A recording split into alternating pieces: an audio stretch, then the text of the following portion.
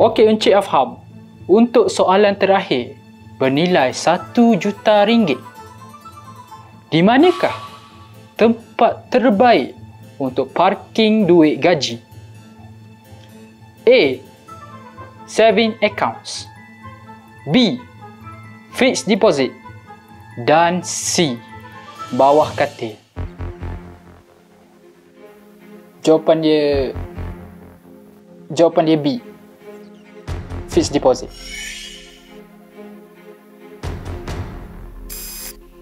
Ah, malang sekali Encik faham.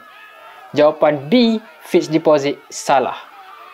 So, jawapan yang sebenar, tempat terbaik untuk parking duit ialah D, Versa.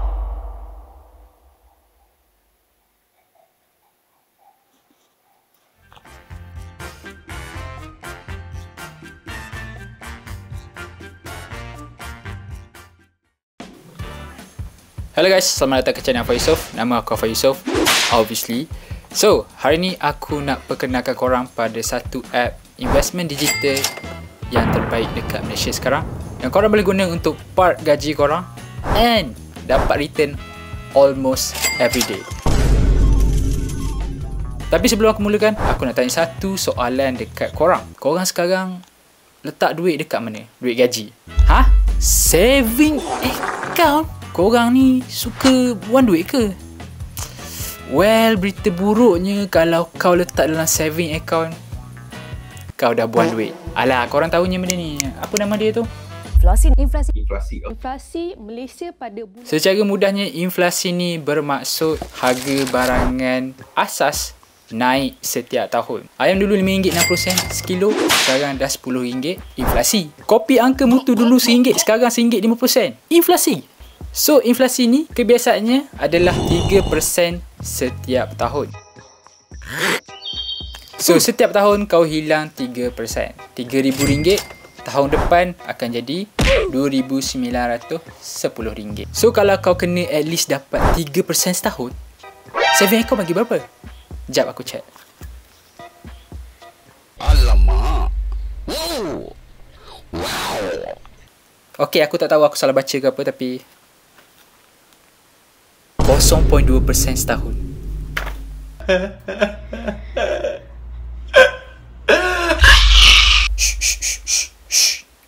Jangan menangis, jangan menangis aku tahu sedih. Penyelesaian kepada masalah ini senang je. Menyimpan di Versa. So macam aku cakap pada awal-awal video tadi, kalau korang menyimpan di Versa, sama ada Versa Cash I atau Versa Cash biasa, korang akan dapat return atau earning almost daily.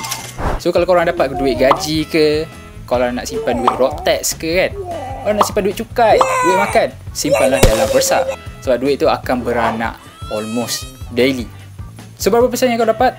Actually agak tinggi. For now, Versa tengah buat promo yang korang boleh dapat sehingga 4% kalau kau menyimpan sebelum 31 Ogos 2023.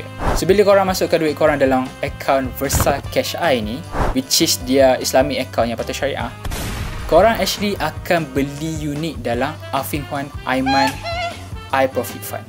Enhance iProfit Fund. Sorry, enhance iProfit Fund which is Islamic Money Market Fund macam tu lah. So let's say fund ni tak berapa perform untuk bulan ni. Contohnya, sepenuh promo diorang ni, Versa actually akan naikkan earning korang sampai at least 4%. Contohnya kalau macam Aiman Fund tu dapat 3% je, Versa akan bagi lagi 1% pada bulan depan untuk cukupkan 4% dalam bentuk rewards. Hey, duit extra.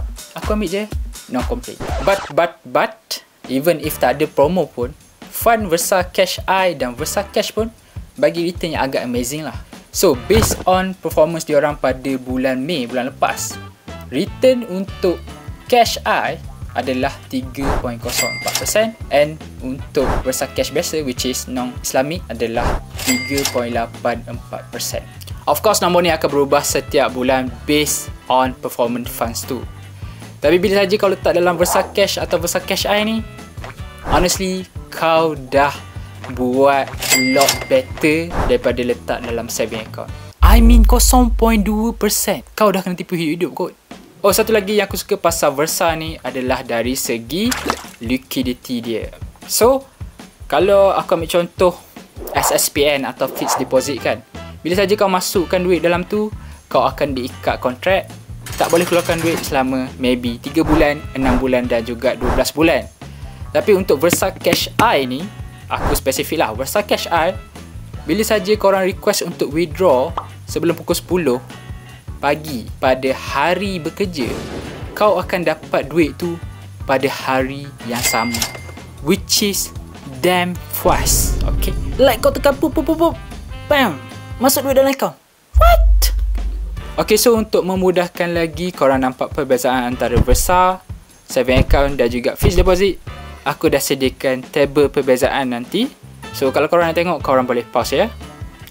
3, 2, 1, bye Pause sekarang Yeah, I think that's about it about Versa So kalau korang nak buat account Versa Actually Versa tengah bagi RM10 percuma Dengan syarat of course kau register guna link aku And juga kau masukkan 100 ke dalam akaun pilihan korang Sama ada Versa Cash atau Versa Cash I Islamic punya Okay, settle mudah macam ABC. Jumpa korang dalam next video. Jangan lupa masuk telegram aku and follow aku ke Instagram. Bye.